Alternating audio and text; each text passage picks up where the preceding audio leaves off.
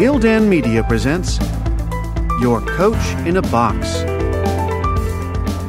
Affordable, mind enriching programs.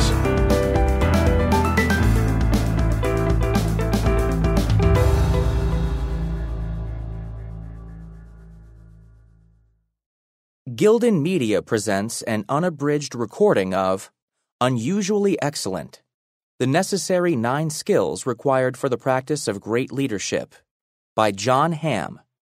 Narrated by Brandon Bujnowski. Foreword by Geoffrey Moore. Real leadership in daily practice is far from the commonly understood caricature of leadership. We don't really know what leadership means, in part because it never means quite the same thing twice. It does not always stand for great things by definition. Indeed, much of the time its most powerful acts pass unnoticed, even when we are looking for them. And although it is always demonstrated by our words and actions, those are so dependent on who we are at the time that they cannot be learned by example or by rule. Emerson has a great line God is, not was. The same is true of leadership. It is the performance in the moment, not the performance in the mind, that matters. Yes, there is preparation, and indeed, the more you prepare, the better your chances.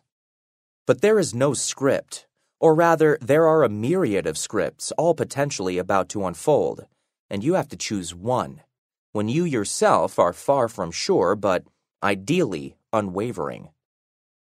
And you must live with the inevitable fallibility of some of those choices, even as you can take pride in the successes of others. To lead well, as this book makes deeply and powerfully clear, is first and foremost to know yourself, and second, to put yourself in service to whatever you value most deeply. If you adopt that posture, whatever follows can be incorporated into making yourself a better leader and it is the purpose of this book to help you do so. There is a model provided herein, and similar in nature to the framework I put forth in Crossing the Chasm, this structure allows you to locate yourself on the leadership playing field. Once you know where you are, you will see much more clearly your choices for action. In our strategy practice at TCG Advisors with clients worldwide, we frequently see the opportunity for leaders to use tools like this to support their work. Like a good golf instructor, which he is, by the way, John Hamm teaches by situation, by principle, and by illustration, all in one. The stories he tells, the lessons he relates, the way he takes you through the details of a performance, the way he helps you think about it once it is over and done. It is all in service to showing you what good leadership looks and feels like, and what bad leadership looks and feels like. But as with coaching in any sport, it comes down to you taking personal ownership of the outcome. You taking the risk and responsibility of action, and you owning both your successes and your shortfalls. You can treat this book as an easy read, for it is that, but that would be a waste. Treat it instead as a call to a great adventure, your adventure, and use John as a trusted guide. Work with him to develop yourself into a powerful leader in service to something deeply worthwhile. There is no higher calling, nor anything that the world needs more in our time. Geoffrey Moore, September 2010. Introduction as a leadership teacher and consultant, and as a scratch golfer, one of my most interesting and favorite clients is TaylorMade Adidas Golf, the world's leading manufacturer of performance golf equipment.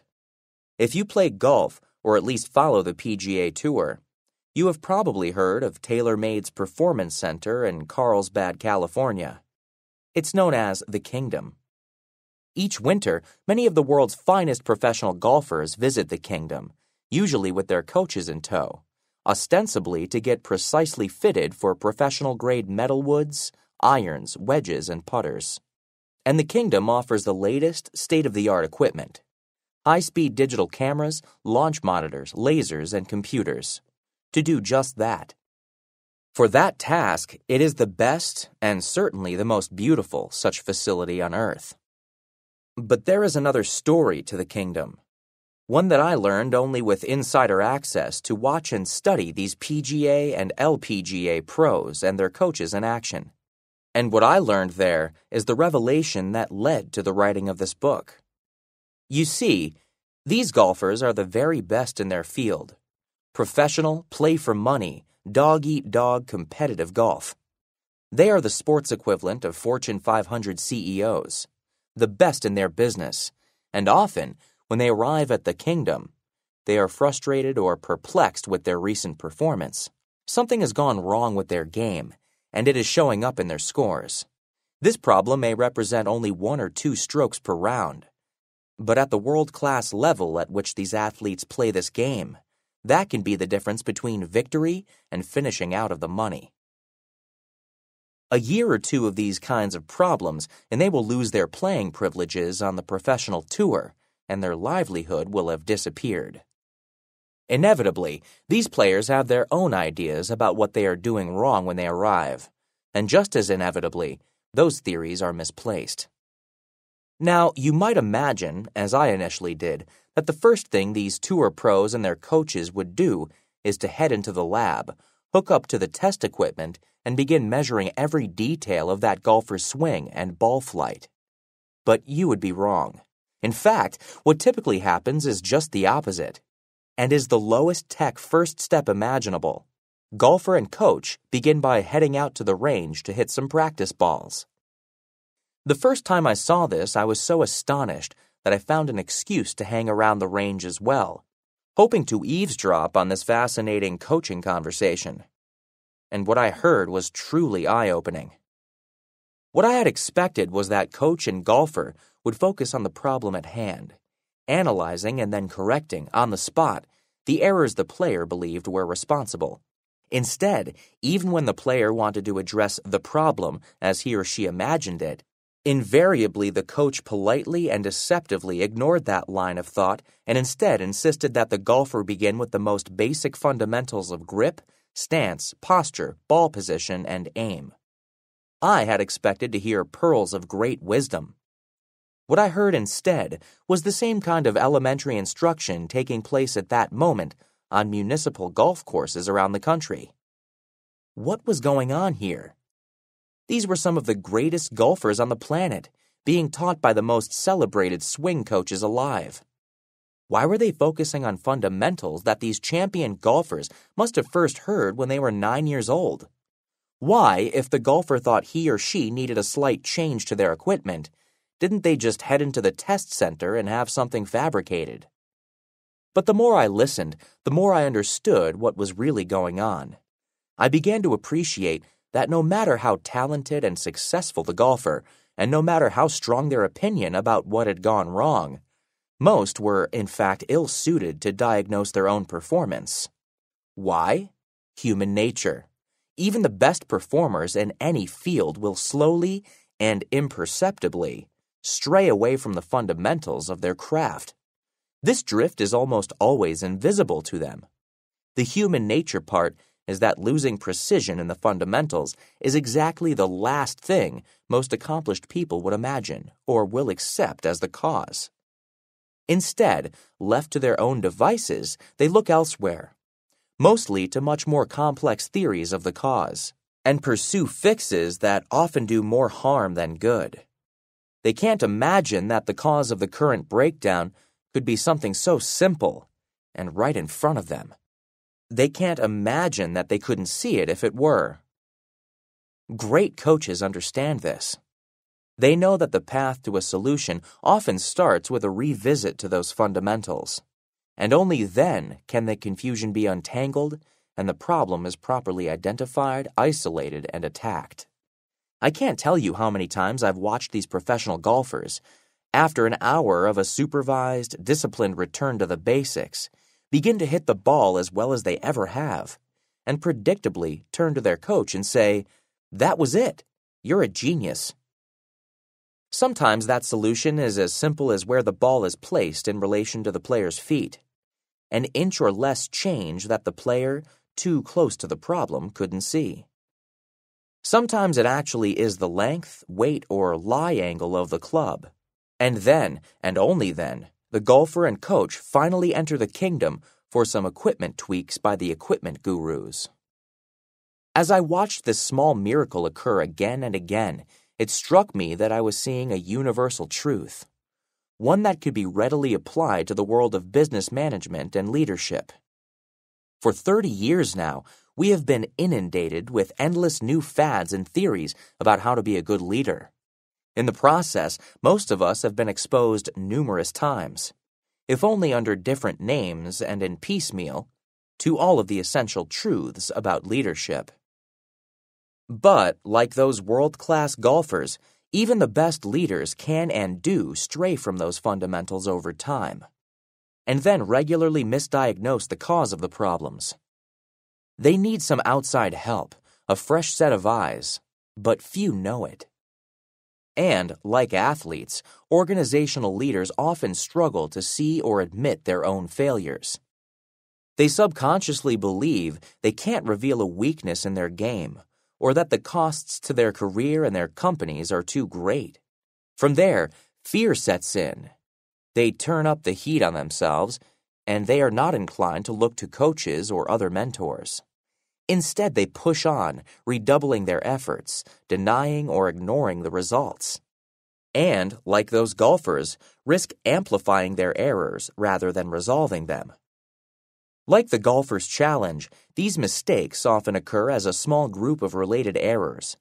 And then there's a domino effect. One thing leads to another, and this set of issues conspires to confound and confuse the player. It is not obvious how to untangle this new strain of problem, born of several fundamentals that are out of tune. At this point, self diagnosis is a disaster waiting to happen. To paraphrase Albert Einstein's famous quote, we can't solve a problem using the same thinking that created it. Tragically, some leaders, like some golfers, never escape their own thinking, and thus don't seek outside support in the midst of this kind of complex, self generated mess. They are then blindly trapped in a maddening, sometimes desperate effort to find the game they once knew they had. There is a reason that Ben Hogan's Five Lessons, The Modern Fundamentals of Golf, remains a perennial bestseller more than five decades after it was written. It is the book that serious golfers regularly revisit to walk and rewalk them through the fundamentals of their sport. The fundamentals that the finest ball striker in the history of the game knew were the essentials to great results. I've written Unusually Excellent to be that book for business and organizational leadership. I know from my coaching practice with leaders at all levels that professional managers in all fields, whether they are just starting out, in the middle of their careers, or facing the legacy they will leave behind, need to revisit the fundamentals of their own leadership practices regularly and systematically, just as athletes do.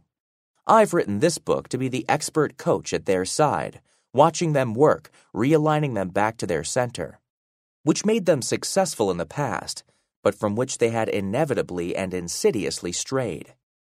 At this level, there are no tricks, no fads, no conceits, only the enduring touchstones of great leadership. It is only by returning to these essentials and newly committing to them again that we can travel that last mile from being good leaders to becoming great ones. The path to that kind of greatness to becoming an unusually excellent leader begins right here in the pages that follow. In the nine essentials of leadership that can become your private coach. A coach who is always available to remind you and walk you through the fundamentals. The five W's and one H of leadership. This is a book for leaders, not about them. It is about the practice of leadership over the course of a long career, not the theory of leadership learned over a weekend. It is not about the introduction of clever new notions of leadership, but about the reassertion of proven precepts. Finally, it is not an introduction to leadership, but an operating manual for all of those who are already engaged as leaders at any level, whether at the beginning, middle, or end of their careers. This book is the product of a quarter century of work as a leader in companies of various sizes, from startups to Fortune 100 firms, and over a decade as an investor and board member evaluating and supporting leaders, as a leadership coach to CEOs, and finally, as a university professor specializing in the study of leadership. During this time, I have worked in depth with more than a hundred senior leaders, most of them CEOs and have spent more than 10,000 hours in practice on the subject of organizational leadership. What all this experience has taught me, and what I hope imbues every page of this book, is that real practitioners of great leadership are successful by mastering a very specific set of essential rules and practices and behaving according to those fundamentals day after day in whatever way the environment or circumstances demand. None of these principles are new. On the contrary, they may be as old as leadership itself. But they are regularly forgotten. And even when they are remembered, they must be constantly tested and updated, or they lose their power.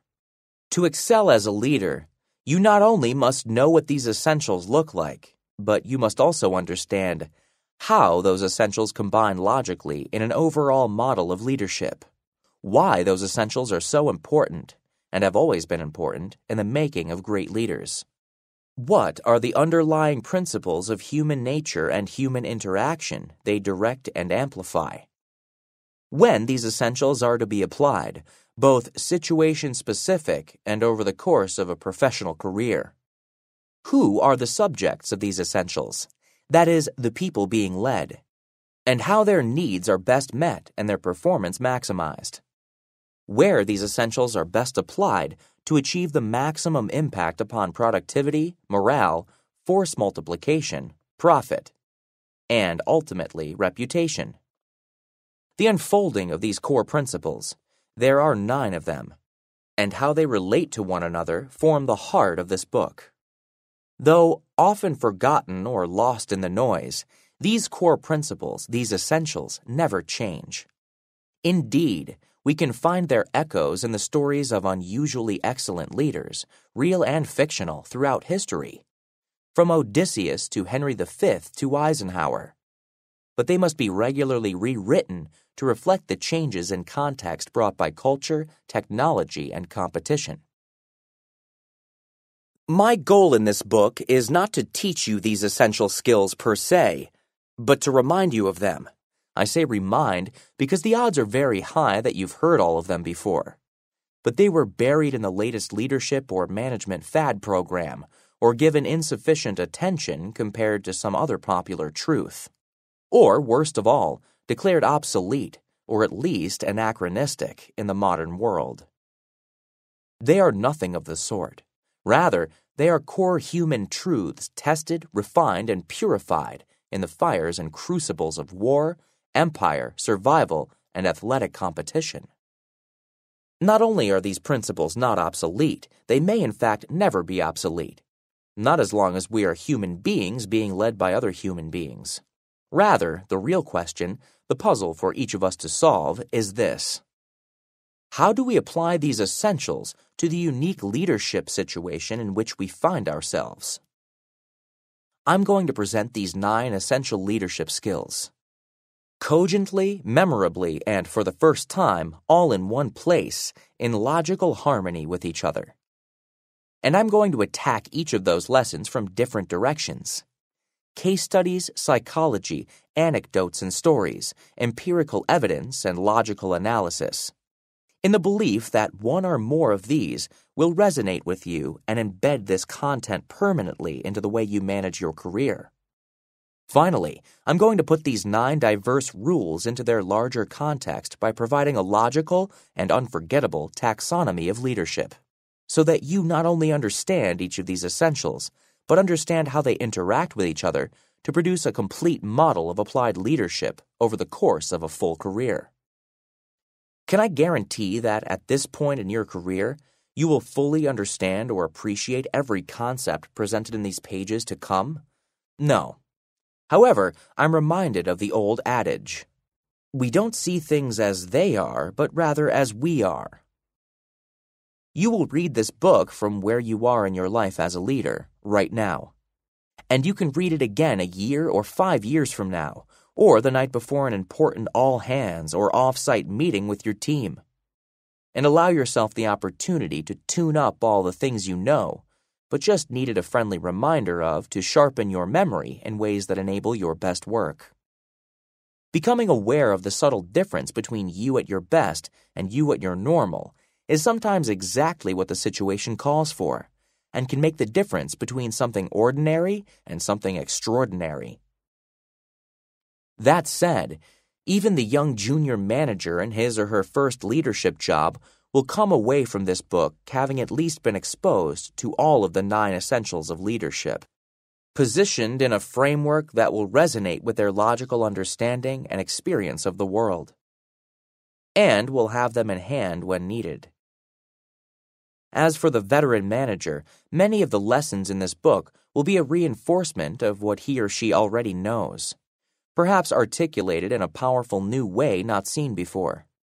For the veteran, however, the final section of this book will address topics reputation, legacy, and consequences that are rarely even spoken of, much less put into the pages of a book. These are the quiet conversations that, until now, successful men and women typically have only with themselves, a trusted mentor, or a spouse. I've decided to take them head on. And because many veteran leaders only discover, to their dismay, that building a reputation starts at the beginning of a career, not at its end, this book serves as a timely heads up to young leaders as well. Leaders Lead Besides a tendency to ignore the proven lessons of the past, fad leadership theories also usually treat leadership as a kind of toolkit, a grab bag of predetermined moves that magically appear at the right moment, to fit the right problem, and can be executed mechanistically. Nothing could be further from the truth. As I'm going to show you, true leadership is an organic process, as much the product of character as of technique. It doesn't exist in discrete moments, but is made manifest over the course of a career of leading people. And it isn't a single concept, but a phenomenological field. That is, it is composed of actions, ideas, emotions, cultural forces, history, and expectations that exist together in a system. Yes, understanding leadership is a systems understanding. Nothing happens in a silo. You also can't just pull out leadership technique number four and swing it at a random problem. For one thing, the theoretical solution is almost always a poor fit to the messy real life problem you face. Moreover, leaders lead. You can't just pick up a tool and expect it to work on its own. You have to learn how to apply it. To assume that an ambitious manager can attend a seminar on employee motivation and then go back and effectively implement those ideas is like handing a four iron to someone who has never played golf but has watched it on TV, and expecting him or her to hit the ball cleanly through an opening in the trees back to the fairway. Finally, management challenges, crises, and even opportunities are not distinct events. There is rarely a precise moment when one can be said to begin and they are rarely ever fully solved. Instead, they often emerge, as you only discover later, slowly and surreptitiously, until they suddenly burst on the scene, demanding a solution. By the same token, their resolution is almost always incomplete, and what remains unsolved sows the seeds of the next set of challenges, crises, and opportunities. My belief, confirmed over decades of working with some of the world's top business leaders, is that leadership is enduring, dynamic, and simple in theory, but complex in execution. That it is a lifelong or career long journey of mastery. And that, like other deeply personal commitments of service, there is no particular destination, no end zone or finish line. It is the learning, and the satisfaction in knowing that you are more skilled and effective this year than you were last, and so on looking forward, that keeps this a game worth playing and makes the time you'll spend leading a worthy and noble use of your time and energy, and worth the opportunity cost of the alternatives in front of you. It is in recognition of this continuum that I tend to stay away from using the notion of nine rules of leadership and instead use terms like essentials and principles, because this time tested wisdom only serves as the ground on which a host of other factors must be deployed to construct short term solutions and long term strategies. Put another way, the nine essentials of this book are only a framework, albeit a tested and effective one, on which to hang all of the other situational and timely factors that constitute great leadership. These principles are the base from which leaders can tap all of their other faculties, experiences, intuition, and resources to help the organization move forward at the maximum safe rate of speed. However, to get these wrong, or to not honor their place in the solution, is to fall for the temptation of what simply won't work. The Three Games of Leadership As you're already discovering, mainly because I tend to use athletic metaphors, I am a huge sports fan and student of athletic excellence. And as the TaylorMade story suggests, as much as I admire great athletes and what they can do, I'm equally impressed by the best coaches and managers. Just as sports, with its clearly defined rules, competition, heroics, and winners and losers, is a proxy for the larger world, coaching is a specific instance of leadership. Years of preparation, of recruiting, team building, and training can go out the window with a handful of poorly planned or poorly executed plays and the most carefully crafted strategy can be voided by an injury just moments after the game begins. Great coaches have an astounding skill for dealing with wide spectra of time and experience. When they are building the team, their perspective can extend years into the future. Yet during a game, their decisions are made in real time, and the impact is measured in minutes or seconds. Similarly, they can go months on a very predictable schedule running workouts and holding meetings, only to find themselves in the chaos of a game, enduring the most unpredictable and stressful work imaginable. And, let us not forget, they constantly live with the knowledge that, though the odds are against their ever being victorious, their customers, fans, expect them to win every game and they are haunted by the realization that one mistake could end their careers and fortunes. Coaches and managers are thus continuously tested in the crucible of leadership. As such, to survive, they need to maintain, literally, the ultimate view of the field. This expanded view enables them to parse, plan, and prioritize their time, their energy, and their actions in preparation for each game, during the game, and in the game's aftermath. This means that for them, and for you, there isn't just one, but three fields of play occurring simultaneously as you lead your organization. I believe it is absolutely essential that, as a leader, you are always mindful of these three distinct domains of leadership skills and appreciate that you continuously attend to each. That's why there are three major sections of this book. Part 1, Credibility, is a matter of character.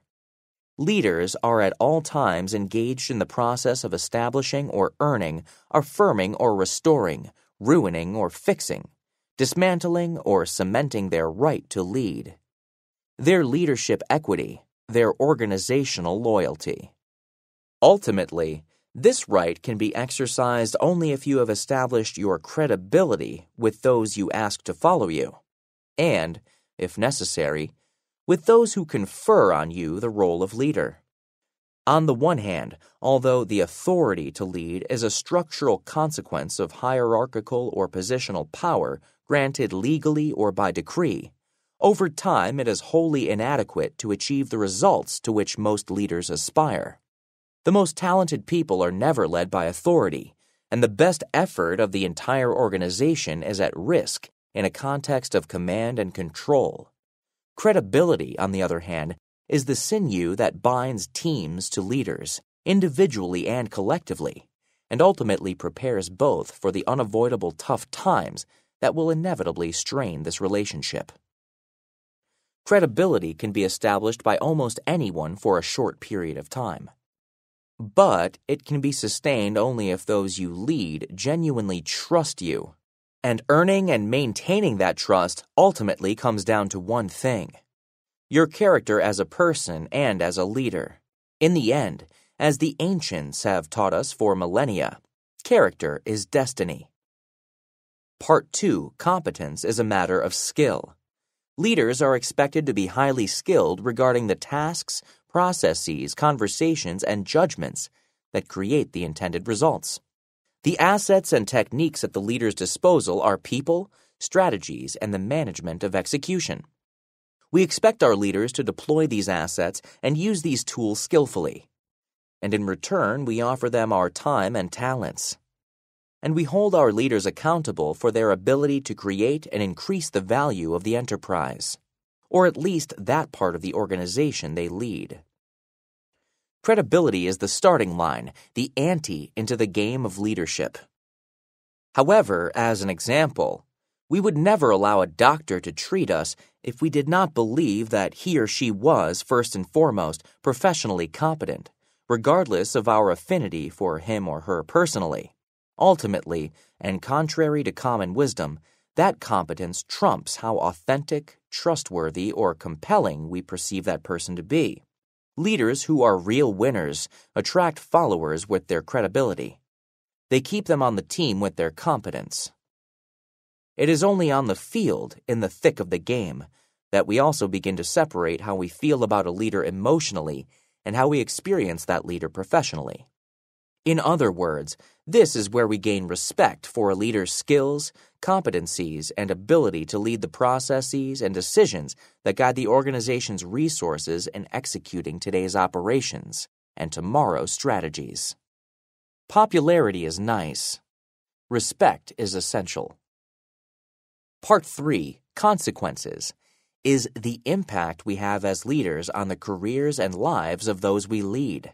As followers, we are guided by the personal values of our leaders to gradually build an organizational culture, a system of behaviors and rewards aligned with values that reflects and supports the deepest beliefs of the leader. A leader is always affecting his or her credibility in obvious and subtle ways. So too is that leader also constantly building their inescapable reputation through their actions. It is the outcomes and the subsequent stories of day to day real life in the organization that form our opinions and establish our regard for our leaders. This organizational culture, its accumulation of legends, folklore, and prejudices, leads to legacy. Those ideals and values by which we remember our leaders. A leader's legacy is larger than the leader and in turn creates still more stories and folklore within the organization. Think of the impact of Jack Welch and David Packard as leaders, and how their legacy and the values they established continued to grow long after they passed the baton to their successors. If leaders can lead in the moment, face to face with the issues of the day, yet simultaneously hold a deep respect and appreciation for how their actions will be recorded interpreted, and remembered after they are gone, they will have much more regard for the impact of their decisions, communications, and actions, especially those that have real consequences to the people around them. The Necessary Nine Credibility is a matter of character and earns the right to lead. Competence is a matter of skill and earns respect and consequence is a matter of values and earns reputation. These are the three overarching categories for the nine essentials of leadership. Within each category lie three essential precepts, each linked conceptually to the two others. Here is the full model, as it will be used in this book. Figure 1 Unusually excellent, the essential skills. Credibility a matter of character. Compelling, trustworthy, authentic. Competence, a matter of skill. People, strategy, execution. Consequence, a matter of values. Decision making, communication, impact. I'll bet that at some time in your education or your career, You have seen every one of these essentials. But I'll also bet you've never seen them arrayed like this, nor realized how all of them interact to create a powerful synthesis that is greater than the sum of all of them. It is this higher plane of leadership, the one that emerges from the virtuous cycle of all of these essentials working together in a consistent manner over the course of a career, that creates what I've come to call and have entitled this book Unusually Excellent Leadership. These unusually excellent leaders are rare, perhaps one or two in a hundred. But that doesn't mean you can't be one of them. Talent and aptitude matter, of course. So do timing and opportunity. But I'm convinced that what keeps good leaders from becoming great ones is often just a matter of either not appreciating the need for all of these essentials to be in place and showing up in their day to day leadership behaviors, or, more tragically, realizing it too late. To learn, we must realize and accept what we don't know and begin to seek that knowledge at that moment. How many talented leaders have lost their credibility early in their careers and borne that stigma ever after? How many executives have proven themselves gifted at execution but not at strategy, and have pulled their organizations down for lack of a plan? And how many otherwise capable leaders have failed to get their organizations to follow because they failed to communicate well enough to enlist them? You don't have to share that fate. You can be that one in a hundred, that unusually excellent leader. Look again at that chart of leadership essentials. They may be difficult, but they aren't complicated. And there are only nine of them. And I'm here to show you how to achieve each of them. Every day you waste as a leader not perfecting these nine essentials only makes their accomplishment that much more difficult. So there's no better time to begin than now. So let's get started. Grab your clubs and let's head out to the range. Part 1 Credibility Earning the Right to Lead Through Character. I hope I shall always have the firmness and virtue enough to maintain what I consider the most enviable of all titles the character of an honest man. George Washington. Figure P1.1 A Matter of Character. Credibility A Matter of Character.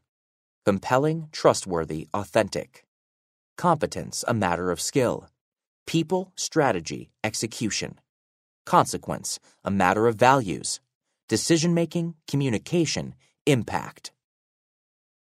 Leaders come to their leadership role along many pathways. Constituents elect them they are appointed by the more powerful. They seize it from the weak or earn it through merit. Sometimes they volunteer to fill an existing void. Leaders also appoint themselves. When they start companies or organizations and declare it is they who will lead the effort. But however they come to the task, they keep it and become unusually excellent leaders only if they continually earn the right to lead as granted by their most important followers, the influencers within the organization. On the one hand, lose the support of those value creators, and you face, at best, the dampened and sullen productivity of an unwilling team, and at worst, an active mutiny or mass exodus of the most talented members. On the other hand, earn the right to lead from your best and brightest and you will be rewarded with much more than simply compliance or obedience. You will gain true commitment, loyalty, and almost superhuman effort. As the chapters that follow will highlight, leading on the field is largely a matter of competence. Once you've earned the right to lead, there are a few rare leaders who have so much skill, intelligence, or charisma that they can create incredible loyalty in spite of some shortcomings in other areas. Leaders like Bill Clinton. Leadership credibility, the result of earning the right to lead your team, is fundamentally a matter of character. Mother Teresa led purely from character, just the raw power of her presence and what she stood for in the world. The essential behaviors of leadership credibility being authentic, being trustworthy, and being compelling stand on the shoulders of the character traits that support each of them courage, integrity, and commitment, respectively. Chapter 1 Being Authentic The Courage to Be Yourself. Self trust is the first secret of success. Ralph Waldo Emerson. He who knows others is wise. He who knows himself is enlightened. Lao Tzu, The Tao Te Ching. Being authentic, knowing who you really are, and holding true to yourself in the most difficult moments is ground zero of leadership credibility. It all starts here, like taking your grip on a golf club or tennis racket. You must get step number one right to ensure your chances of success. To create the trusted connections you need to lead with real influence, you must first pass the authenticity test of your followers. It sounds simple, but isn't. It takes courage, and there are absolutely no trick plays or shortcuts. I don't have to tell you that authenticity is more complicated than simply being yourself. For a very few people, this happens without enormous effort, and they never think twice about it. But for most leaders, the complexity of their responsibilities creates the occasional conflict that they must confront within themselves. These are situations that test our ability to stay true to our core values in the face of tremendous temptation to take the easy way out. Ask yourself, when am I the most authentic? The likely answer is when you are with family and close friends, the people with whom you can let down your guard and allow your true self to emerge. What do those authentic moments have in common? There is nothing at stake. Your friends and family already know who you are, so being yourself with them has no unforeseen consequences. They know you aren't perfect, so you aren't obliged to be. They like you as you are, and they wouldn't want you any other way. When you are with these people in your life, you believe you are already inherently good enough to hold your place in that family or that friendship. You aren't trying out anymore. You made the team, and you act like you know that. You trust yourself completely. There is no doubt in your mind that you are wholly and completely qualified. These examples from the comfort of our lives with friends or family also illustrate the quality of the connection and ease of dialogue with others that we feel when there is no temptation to be someone we are not. Although being ourselves authentically comes easily in most personal life settings, it is at times difficult as a leader for the other side of the same reason. When you are leading an organization, in the situations that test you the most, there is usually something at stake, for others and for you. The outcome of most leadership interactions has a consequence to everyone involved, and it is in your hands. These are the stressful times when you must have the courage of your convictions and be true to yourself in every way. These are the circumstances that challenge us to do the right thing, even if it feels difficult, risky, or uncomfortable, and, in the same moment, tempt us to say something that just seems easier at the time.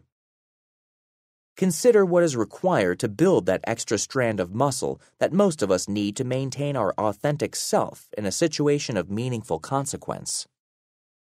When your decisions and conversations affect others, sometimes on a grand scale, and sometimes in very personal or dramatic ways. It takes an unusually insightful understanding of yourself that is beyond what you would normally know without an extra effort. This is highly personal and disciplined work that most leaders will not attempt. Knowing who we are at the core is a project of awareness, courageous introspection, and thoughtful reflection. The inquiry we must embrace is what informs and creates our capacity to lead with real influence? Surveys tell us we are informed by our own personal reflection. And it takes real courage to own the unvarnished truth about our lives and our past. We are also informed, in a profound way, by understanding how others perceive our leadership behavior. This requires a tolerance for unfiltered feedback that few leaders have. Let's look at each of these steps in detail. Tale of Two Leaders Polar Opposites. Here's a pair of stories reflecting the antitheses of authenticity from the part of my career as a venture capitalist. I've changed the names to protect the less than innocent. Carl was the CEO of a venture backed software company. He had previously held senior management positions at several large IT companies. He was the first kid in his family to go to college.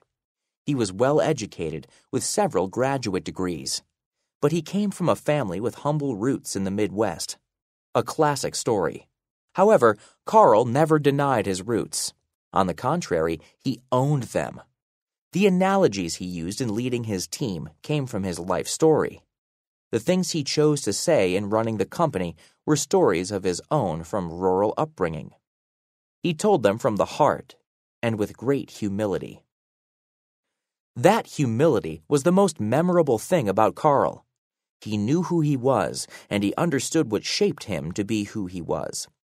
In the middle of Silicon Valley, he wore a cowboy hat and drove a pickup truck. And he didn't care whether you wore Brioni suits and drove a Lamborghini. He made no value judgments that way. And he felt no need to look like somebody else. Where did this attitude come from? I think it went back to Carl's comfort with where he came from. In his world, there was no looking good, no keeping up with the Joneses, just a tight focus on getting it done. It was an upbringing that taught him to value excellence and experience. That's why Carl, who had a PhD, would emphasize a point not by reference to some academic theory, but rather with a story about working in the cornfields. It was this realness, his what you see is what you get simple elegance, that became Carl's platform for competence. You never caught him acting like somebody he was not supposed to be. He was never trying to be someone he was not. This made him incredibly easy to talk with. You always felt like you were talking with the real person. The effect of this way of behaving, consistently over time, is that, with his team, Carl enjoyed incredible trust and loyalty. People wanted to be on Carl's staff because his style was so authentic that he freed everyone to focus their energy on all the right things and not worry about all of the overhead and excess calories of worrying about how you look and how you fit in.